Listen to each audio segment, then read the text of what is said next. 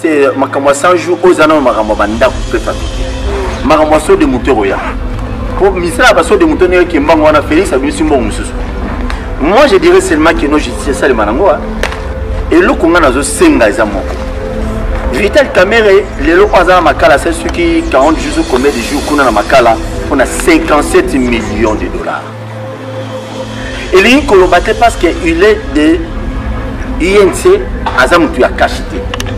vie na biso moko ya fcc ya pprd andre kimbuta il a été cité par le gouverneur actuel gentini ngobila na dossier ya 60 millions toza wapi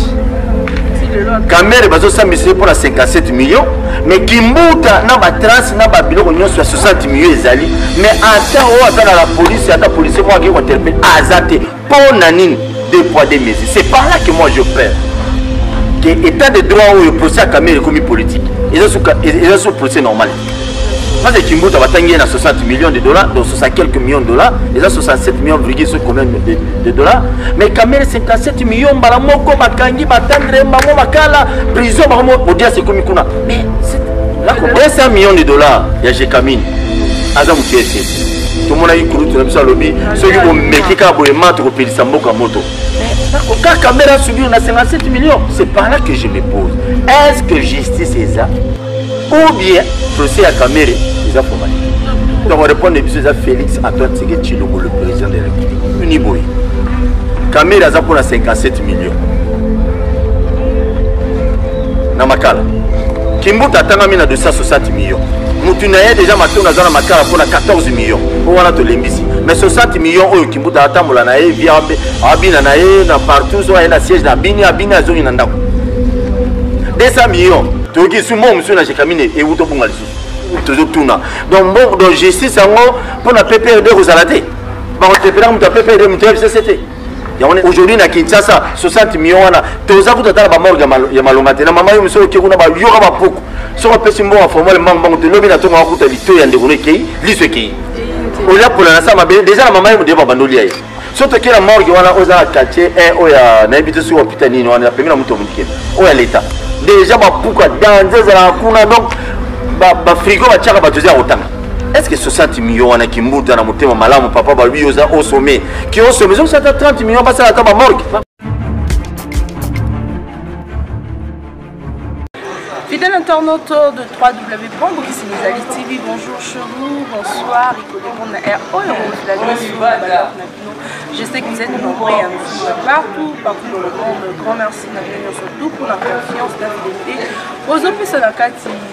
ya kokesa mozali tv eh, mpe na masolo na biso tobetaka ya politike ya mboka kongo raison pour laquelle toza lisusu awa lelo grand merci à mon équipe technique esimami ya josé ipembe qui est derrière la caméra et grand merci à mon dt babuziko oyo asimbi montage ya émission oyo mpo na lelo tozobeta masolo ya politike lelo naza na moko alobaka mpe bien boyebi ye omesani mpe ya biso ya kokesa mozali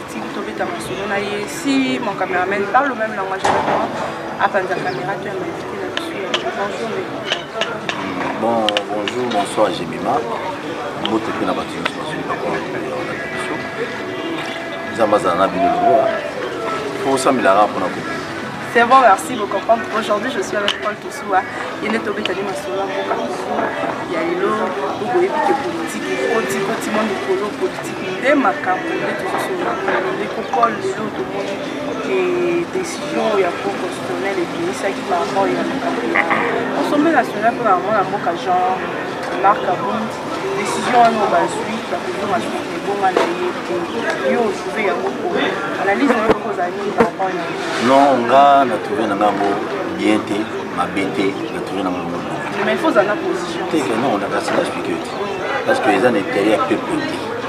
te mo décision wana mais jean mike abunda azala premier vice président assemblée nationale peuple congolais organise alongwa premier vice président assemblée nationale congolais organise eloko te et déjà tout d'abord les 500 députés bana assemblée nationale tokozalaka bienvenu liota njoli adolphe mwana bwana sef véronique lumanu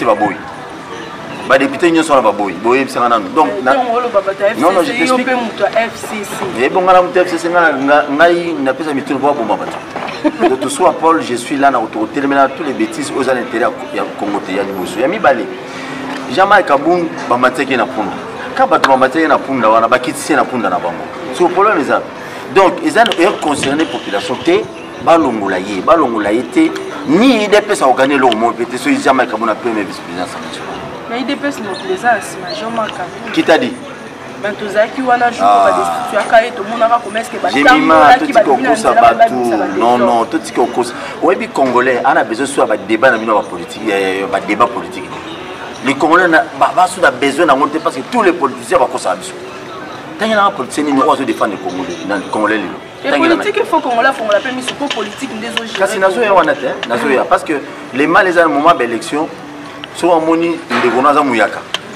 nga na vote ndeko na mpo alobaki yaka soki aza motetela na vote kaka ndeko nanga motetela mende biange mende na mboka na ye asala eloko te eh, o oh, nani o oh, fona vote kaka non non te bovote motu oyo azali na likanisi ya kokende kodefendre bino lobi conséquence nango lelo yango to wana 500 député la plupart nommé élu te mais nommé conséquence yango oyo te tosoki wapi tokomona bafilme ya boye ti manda na bango ekosila baodefandaka te tere ya peuple te tozongi na ville ya kinshasa meme badepute provinciaux na biso ntangelanga depute provincial nini ya kinshasa oyo azodefendre lelo oyo kuluna eza na niveau moko numero 00 na ville ya kinshasa commanda ya ville il est séculaire asana eloko te oyo oyebisaka na na minute oyo bajipe ebele ya la polise zela nasilisa omoni bajipe ya la polise ebele eza kuna na gombe mm. bazolanda bana moto baolanda bana moto partout na gombe mais na odui na lemba na masina na bumbu na selembao tozomona na bachaine ya télévision locale awa ah, ono oh kuluna kuluna kuluna mais basala eloko te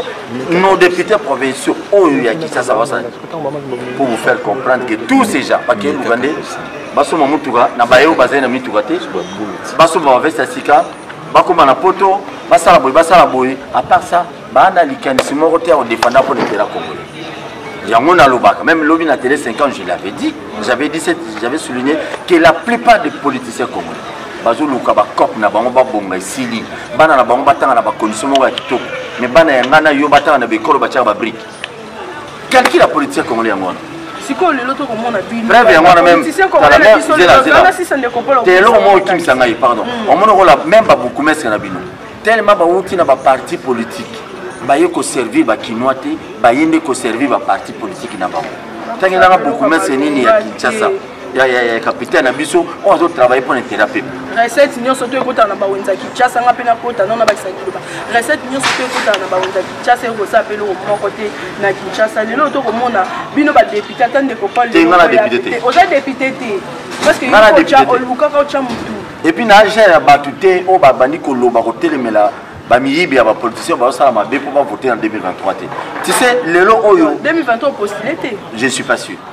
oyebi mpo na nini lelo oyo na kinshasa to na congo na biso todegoute nano badepute et comment je peux accepter un jour ngai naki no postule parce que les députés ils parlent là ils font des histoires toza awa tozocontinue masolo na biso ya politike eh, naza mwana mboka paul tosuwa bokonfront tozobeta masolo ya politike ya mboka kongo bozomona commerce ke nyonso tozomata ezokita lelo tokei tobi badepute ya malonga baza te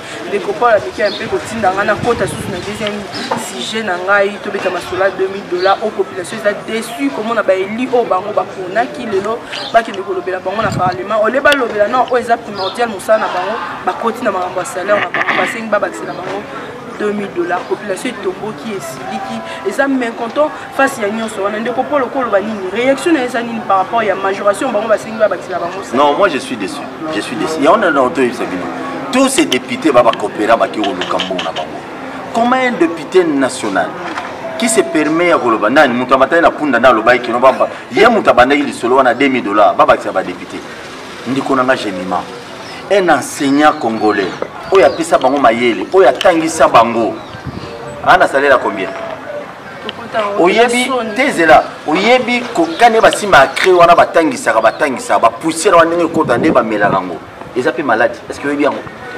baa na susi na bango te policier kende na baka ya bapolicier ebele na congo to baka oka oyo batongeli bango soki bandako oyo jamal na kamere basali bakopo mpo balia mboka congo te bokende na baka ebele ya mboka na biso jemima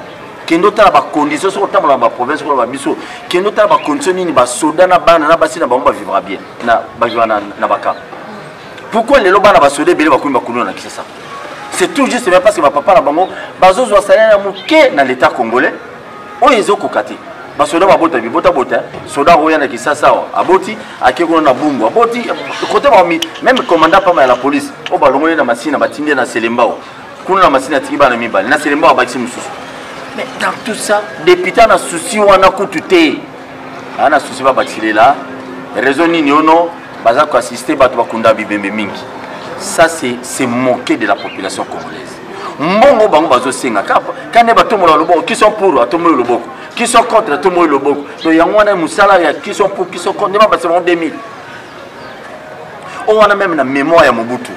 Même la mémoire à Simon Kimbangu. Même la mémoire. Il y a Moussé Laura Dizeli Kabila. Jamais bakoki kondima eloko wana ti omoni sikoyo tension bango moko baluki ntango balobi babakisela bango 2000 baprofesseur nini kini babini 5000 eh, basoda mpe mokonzi tokoyoka tolami kaka tototo bobakisa biso 3000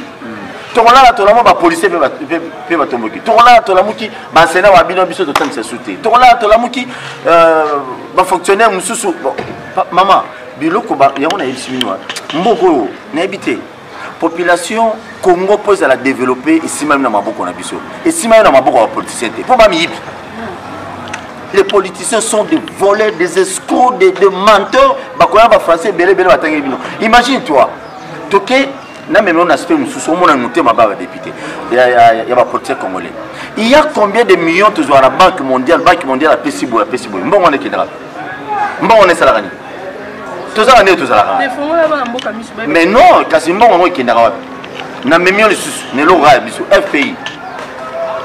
n'est ce pas que fpi esalema wana mpo bapesaka baatrepreneur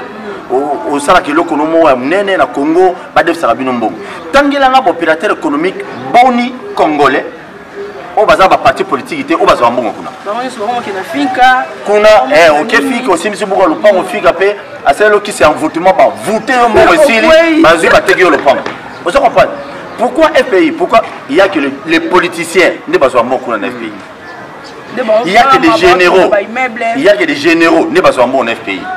donc entrepreneur moko boye oyo aza na kasumba lesa ana makambo nde ebele evanda akodefa mbongo na fpi te kaka politicien donc fpi eza mpo na bapoliticien kende kuna okende oyoka bato bazwa mbongo na fpi ça fait des années bafutaka te okoka ministre mwasi ya ministre akrea ong mwa lokuta nde akende ozwa mbongo cadre moko ya pprd akende ozwa mbongo cadre moi ya fcc azwa mbongo général moko aza na parapluie moko soki ya nani azwa mbongo yo papa bino papa bino te nazoya kuna mama mm. papa bino ata na eloko nini aza nango na mboka oyo akodefa mbongo na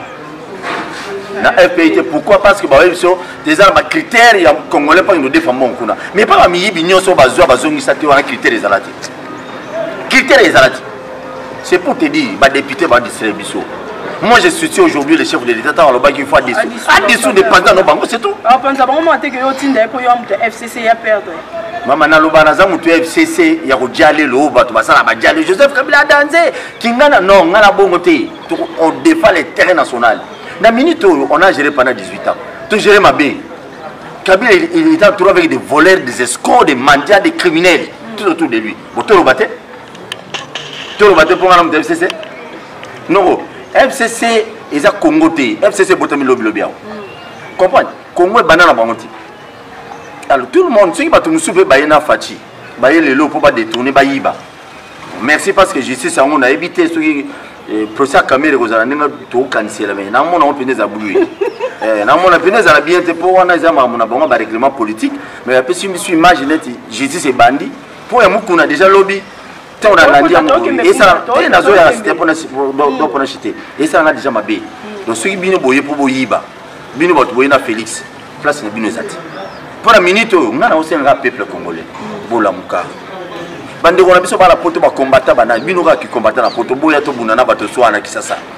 na congo boyawa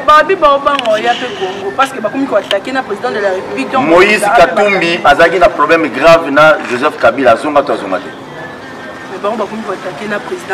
général oyo nani wa moluba oyo nani sonia bosi ekomo na ye oyo alobaki soki akanga kabila nani azonga azalaki na makala ntango cibango félix abimisi ete noko oya combattant yaka yaka kongo tobunda bitumba bitumba yakofingaka o te toasuna ntango wana te sikoyo na minute oyo fo peuple congolais baleka na action mpo tobima na prison na cachot oyo bapoliticien oyo batie biso na makasi mais tomoni mpe président de la république ase prononce par rapport à faire 2000 dollars oyo alobi ke mbongo wana bakobakisa bango te bapesa yango babakisa yango na basoldat mpe na baenseignant encourage au moins makambo oyo président alobaki kasi eza bien soki alobi apesa basoda mais tout le monde bapesa bango wana mpo babakisa na basoda 20 000 mo bonde mpe bazwa yango mpe te onde bazwa yango te donc omoni bapromese ya congo oyo ezalaka na rigueur makasi osalema rapidement eza ya politicien soki politicien alingi babatire salaire rapidement ekomata eh, merci mais mpo na peuple bamatela peuple yombo alo ndenge chef de l'état ndenge olobi mpo nga nayebi te eza koengage kaka yo so chef de l'état alobi keno babakisa bapolicier na banani salaire tomona yango mpe mpo toya mpe na bandeko ya bapolicier ya basoda ya baenseignant esala mpe bien c'est bon continue bayi mboka tozobeta masolo ya politique tike toza bino bato bomesaka kolanda biso na kati ya bokeseni ezali to kosenga bino bosabone massivement lolenge mpe ya kosoutenir biso makasi eza kopartage mpe baemission na biso ekosala bien makasi tozocontinua masolo ya politike ndeko paul tosuwa tozobeta masolo tokota na makambo ya procès ya mwana mboka moto ya éveil patriotique ya éveil pascal mokili lolenge procès wana ozokokendela est ce que ozomona teke eza manipulation pourquoi mpe etelemelaki président na biso ya kala joseph te eloba autorité morale na ngai yo ozokima yo ozotanga félix kabila yo bango otanga ndeni wana mokonzi na ngai te eh, nabangi te me oh. nalobi mokonzi no direct autorité ah, morale bato alamuka mwa bizarre eh, ngai na motalamuka te ngai na église au milieu du village mais catholique lelo aza pour lamuka te totika ah, yo ozomona te catholique apesi candidat na bango na ceni amotalamuka ah, yo oboyango ndeni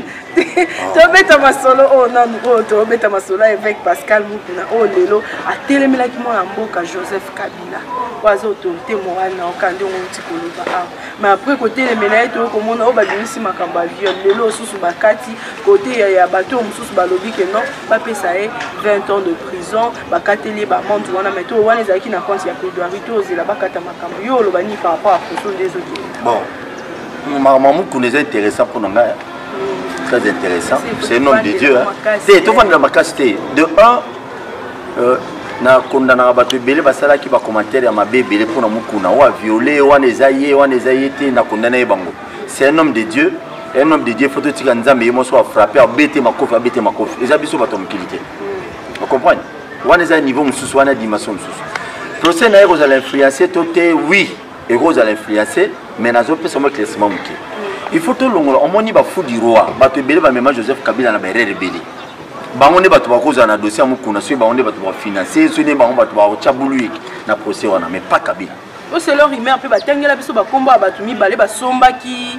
dossier wana epai ya mwa mwasi oyo yo ozokende gauche droite balobi eza bokomese kiwa oyo ya ppd yakomi na kisasa mama bango ebongo soki yo so baleve siko ngai siko donc kiwa selon baaudio réseau sociaux babi kiwa nde moto azwaka eh, soki mwana mwasi bola amemaka ye soki kuna epai ya soki nani tout ça il faut oloba bongo eh,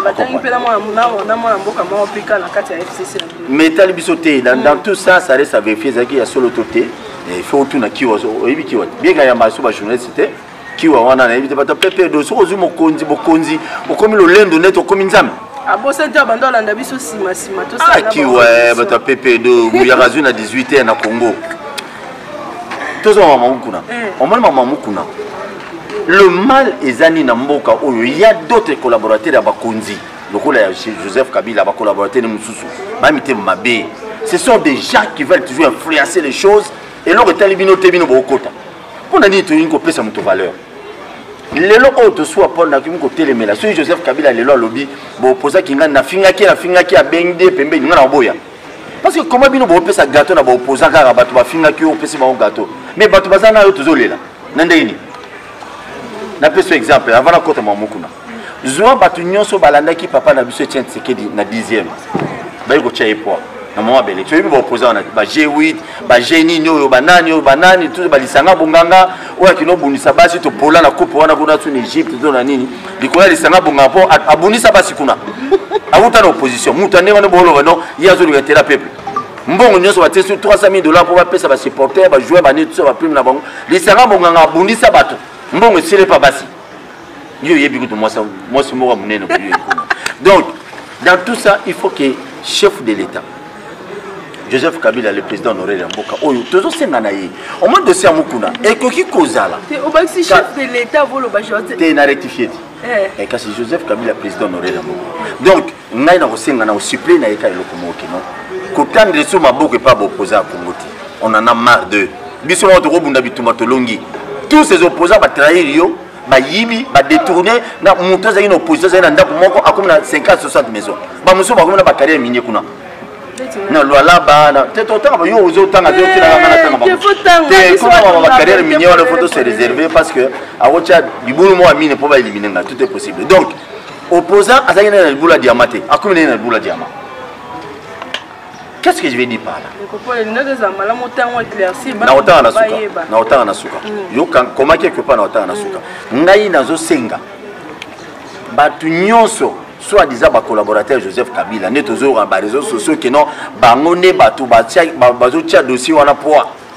basima ba juge basima ba magistrat basima ba procureur bobima na makambo wana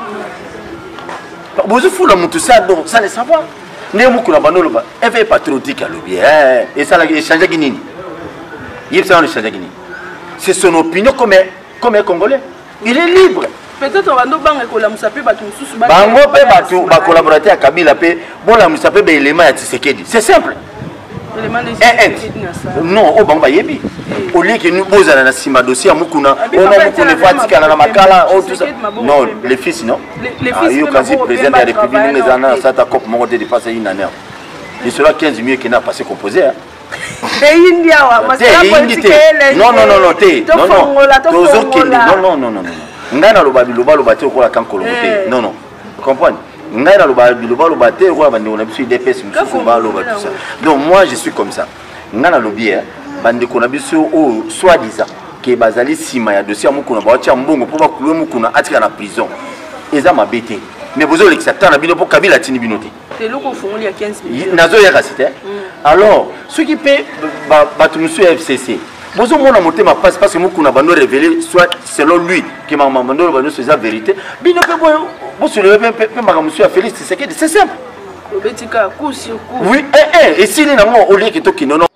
c'est un père de famille nga moko nalandi procès wana obi navandi boye na makala nalanda procès wana obi esekisi nga mami cibola wana ase contredire na makambo nyonso oyo asamaki kuna na parke mwana ya kancha soki kanchi toki nani wana donc aye kobeta masolo mosusu mami cibola libanda zela nanu mwasi ya kancha liboso babalanaka je crois na 2008 non 2008 je crois non 2010 basali mariage civil na 2010 si je me trompe pas mwasi wana alobi non basala mariage civil ye na cibola cibola alobi basalaki mariage civil na 2008 ta contradiction batali siko peve basalaki wana na parke na ya oyo yaki esamba awa yombo soki bato ya fcc baasima nango théâtre de chez nous avocat mosusu avocat ya kantia ya pauvre kanti alobi no c'est moi qui détenais badocument nyonso ya lopango se ngai avocat na baokaki depuis parquet tia ye awa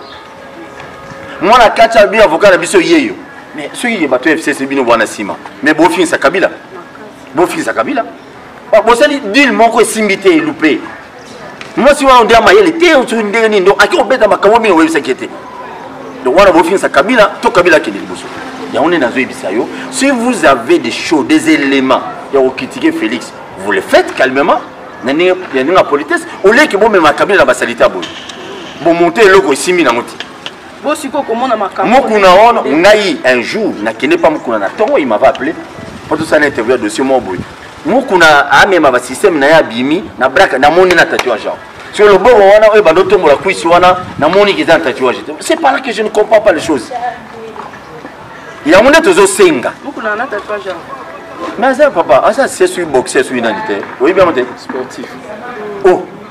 oza mokolo meka ya obeto likofi tala obosana eh, kabila bato bana batatouage eh. bakota lola te nga na ye biso biso toyoka bona biso mama bongola motema bato ebele bolo motema nsima na ye moi je n'aime pas critiquer trop le serviteur de dieu mais sikoyo komona makambo ministère public na makambo te ministère public ezalaka bongo eza te ke noto mpe se couleur politique te mm. couleur politique soki ke tribunal ekati na ndenge abulu eke wana nde topesi tribunal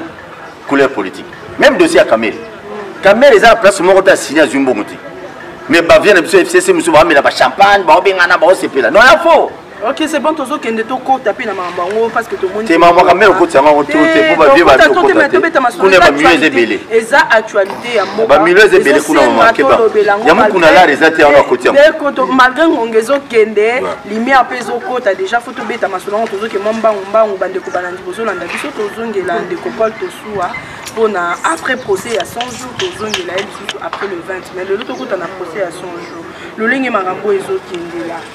procès ya 100 jours ozomonela yango ndeni le 20 aout dans deux jours bazo prononce bon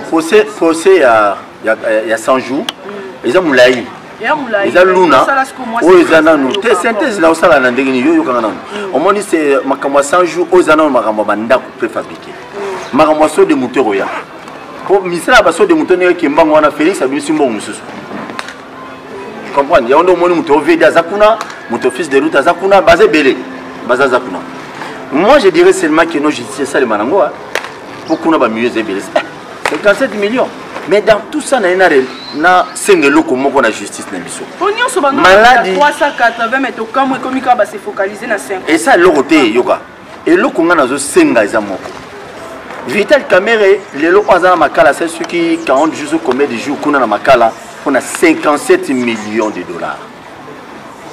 elingi koloba te parce que il est de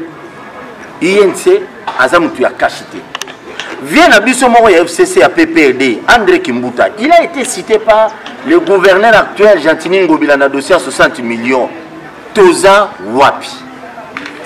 kamere bazosambisa ye mpo na 57 millions mais kimbuta na batrace na babiloko nyonso ya 60 millions ezali mais ata oyo ata na la police ata policier moko akei kointerpele aza te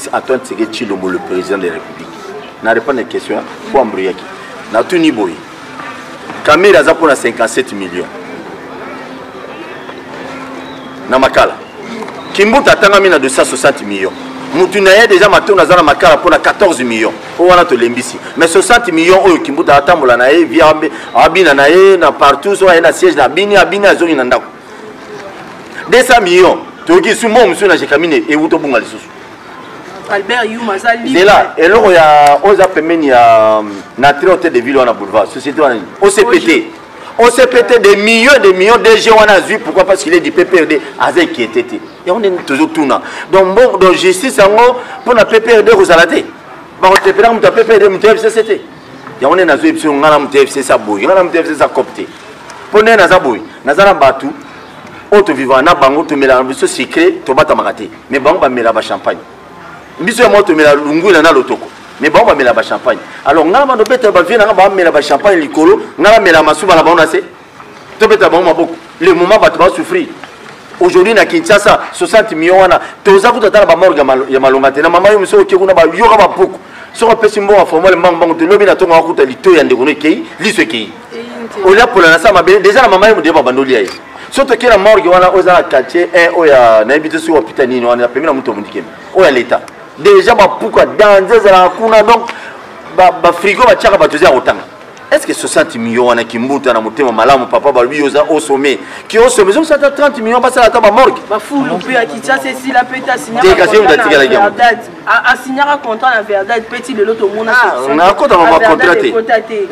nga na society miyo nde ezonga ndambo c'est bon merci tokomi vraiment na suka émission na biso ya lelo masolo ezalaki ebela obeta me ngonga esengi biso tosuka na mwa mokuse soki oloba mwa liloba ya suka par rapport ya émission na biso ya lelo okotisa mpe tomoni ndeko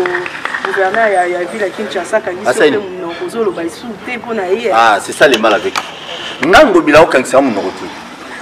ngai ngobila wasomelaka ndako lelo te motuka lelo te chemise lelo te pantalon lelo le problème eza awa na bino aza motu ya fcc ya boyi cela veut dire esika ya malamu ezali tobeti maboko pourkui nazokotela ngobila nazoloba boye sujet libanais wana asina contrat oyo asignaka wana bato balia bakabola nde bambongo ntango bakomi bagouverneur bakabola bambongo na libanais wana moto wana magasin moko eza na ya moke se 2000 dollars na bandako ya atonga contrat wana enge elobani basinaka contrat mpo amoderniser grand marché malheureusement le monsieur akomisi grand marché cope na ye un batike grand marché zando wana efonctionnaka na 3 temps wenze banda 5 heures ti 6 heures ezali ti 7 heures ezali wenze normal na moi ezali wenze ya de 19 heures ti 23 heures ezali ya zando wana alors batike nyonso efutamaka na zando wana plus de 4000 personnes bakota na mokolo nyonso eza na cote ya sani ya libanais maintenant le messi a gagné pendant 15 ans ndeko na ngai nabetela libanais 15 ans asala eloko moko te na zando nabetele maboko tandis que gentini ngobila alobi te na boyi cope na bino il faut tobuka tobongisa zando mama na ngai et en même temps libanais aki akoti vice premier ministre intérieur na poche akoti baministre mosusu na poche akoti bakonzi ebele ebele na poche wana tobetela bango maboko mama yebisaka nanu nakotela bango nakokotela gentini ngobila nakotela ngobila aza déterminé alobi fo abongisa zando alobi te keno nakozwa batike ya zando na lie nakozwa mbongo ya zando natie na poche na tongi banda non ngobila deja deya bongo na ye aa bambongo na ye deja alonga nzala parmi le gouverneur bapoliticien crédible lelo bakoyiba na ville ya kinshasa te ngobila na kati mais la plupart bato nyonso baye ye wana imagine ministre mobie vice premier ministre yoka na titre yo en fonction vice premier ministre libana yaka mobola moto ya nzala na na gome na congo atie oyo na poche mpo ete eh, mabele ya bakoko na biso ah. na otanga na ye na otanga na suka napesi euh, non nakosenga mpe bato nyonso bakolanda ngai mpa na yo basabone na chaine na ngai youtube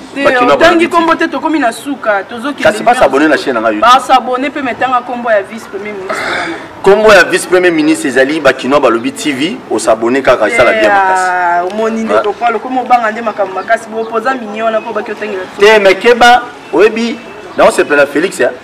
baministre ebele toyebi deja kinois balongwe deja